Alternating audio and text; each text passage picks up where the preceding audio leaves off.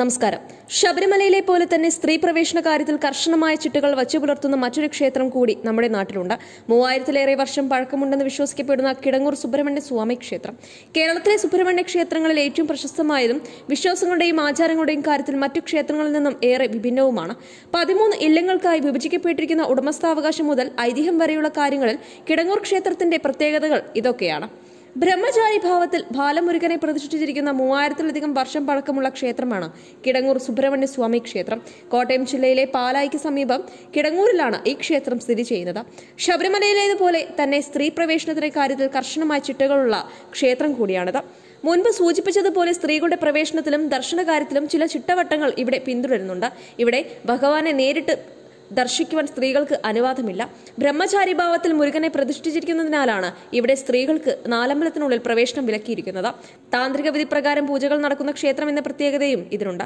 പത്ത് വയസ്സിൽ താഴെയുള്ള പെൺകുട്ടികൾക്ക് മാത്രമേ ഭഗവാനെ നേരിട്ട് തൊഴുവാൻ അനുമതിയുള്ളൂ. പ്രായപൂർത്തിയായ സ്ത്രീകളെ മുരുകന്റെ അമ്മയുടെ സ്ഥാനത്തായാണ് കണക്കാക്കുന്നത്. അവർ ദർശനത്തിനെത്തിയാൽ ബഹുമാനമായി മുരുകൻ എഴുന്നേറ്റ് നിൽക്കേണ്ടതുണ്ട്. അതിനാൽ ഇവിടെ പത്ത് വയസ്സിന് മുകളിലുള്ള സ്ത്രീകളെ മുരുകനെ നേരിട്ട് ദർശിക്കുവാൻ അനുവദിക്കാറില്ല. എന്നാൽ ഇതിനർത്ഥം പത്ത് വയസ്സിന് മുകളിലുള്ള സ്ത്രീകൾക്ക് ഭഗവാനെ കാണാനേ പാടില്ല എന്നല്ല. പകരം ക്ഷേത്ര ഇടനാഴിയിൽ നിന്ന് ഭഗവാനെ പ്രാർത്ഥിക്കുന്നവരെ നേരിട്ട് കാണുവാൻ കഴിയാത്ത വിധമാണ് ശ്രീകോവിൽ നിർമ്മിച്ചിരിക്കുന്നത്.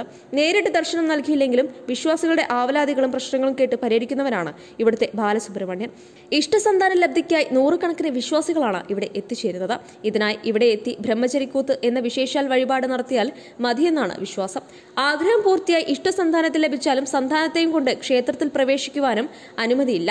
പകരം കൂത്ത് നടത്തുന്ന ചാക്യാരാണ് കുഞ്ഞിനെയും കൊണ്ട് ക്ഷേത്രത്തിനുള്ളിൽ കടന്ന് ബാലസുബ്രഹ്മണ്യനെ ദർശിച്ച് പുറത്തേക്ക് കൊണ്ടുവരുന്നത്.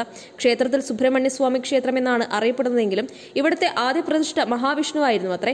വടക്കം തേവരെന്നാണ് വിഷ്ണുവിനെ ഇവിടെ വിളിക്കുന്നത്. തെക്കോട് പ്രതിഷ്ഠയുള്ള ഭുവനേശ്വരി ദേവിയുടെ കൂത്തമ്പലം നിർമ്മിച്ചിരിക്കുന്നത് പെരുന്തച്ചനാണത്രേ രാമായണത്തിലെയും മഹാഭാരതത്തിലെയും വിവിധ സന്ദർഭങ്ങൾ കൊത്തിവെച്ചിരിക്കുന്ന രാഘമണ്ഡപം തെക്കേ നടയിലുള്ള ശാസ്താവിന്റെ പ്രതിഷ്ഠ തുടങ്ങിയവയും ഇവിടുത്തെ പ്രത്യേകതകളാണ്. കിടങ്ങൂർ ക്ഷേത്രത്തിലെ ഏറ്റവും പ്രധാനമായ ചടങ്ങുകളിലൊന്നാണ് സ്കന്ദഷഷ്ടി വ്രതം സുബ്രഹ്മണ്യനെ പ്രീതിപ്പെടുത്തുന്ന ഏറ്റവും പ്രധാന വ്രതമായാണ് ഇത് അറിയപ്പെടുന്നത് എല്ലാ മാസത്തിലെയും ഷഷ്ടി നാളിലാണ് ഇത് ആചരിക്കുന്നത്. അതിൽ തന്നെ ഏറ്റവും പ്രധാനം തുലാമാസത്തിലെ സ്കന്ദഷഷ്ടിയാണ്. കോട്ടയം ജില്ലയിലെ കിടങ്ങൂർ എന്ന സ്ഥലത്താണ് കിടങ്ങൂർ സുബ്രഹ്മണ്യ സ്വാമി ക്ഷേത്രം സ്ഥിതി ചെയ്യുന്നത്. വെബ് ഡെസ്ക് തത്തുമൈ ന്യൂസ്.